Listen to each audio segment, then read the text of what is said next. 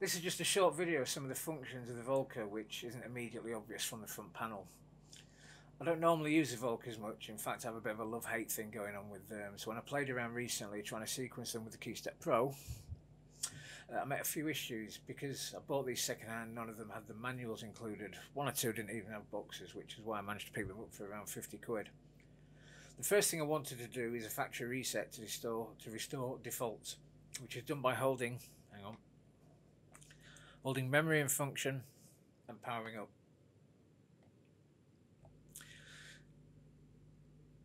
Record accepts the restore or you can cancel by hitting play.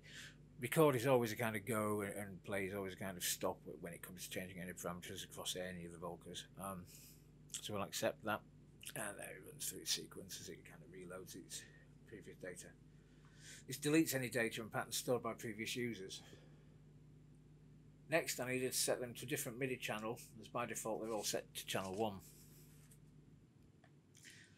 So again, this is done by holding memory, just memory on its own, while powering up. That gives you the options down here to change to any one of 16 channels. As you can see, I have it on 2, that's the one that I was using, on track 2 from the uh, Arturia Keystep Pro.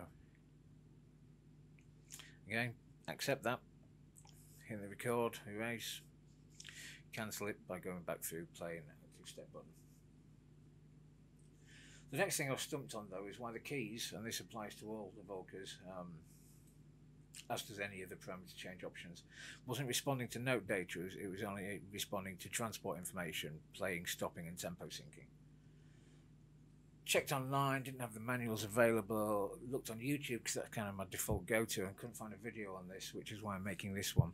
And it wasn't until I posted a post regarding this on Facebook that Oscillator Sync replied to me and said check the RX short message data is on or off, um, which I knew nothing about, having not had access to the manual. Checked it online since though, and it's, it's kind of there now.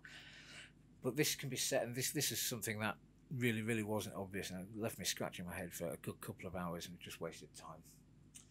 Um, if the RX message, short message is turned on or off, um, if it's off, the Volca only responds to transport data from the tempo syncing, but not to note data. If you want to use the Volca with external sequencers or MIDI keyboards, then it needs to be turned on.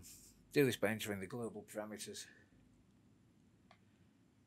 which is holding down function, powering up, powering up. Key 7 turns RX messages on or off. That's it off, that's it on. Whilst we're in here, um, number six next to it changes the clock source.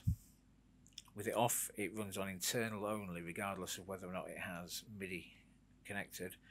With it on, that's auto automatic mode, so it's, it's auto. It'll respond to whatever signals it receives, and if no signal is being received, then then it defaults back to its internal clock.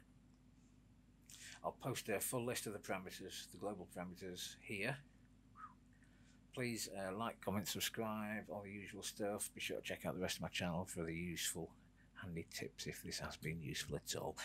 Ta! Many thanks.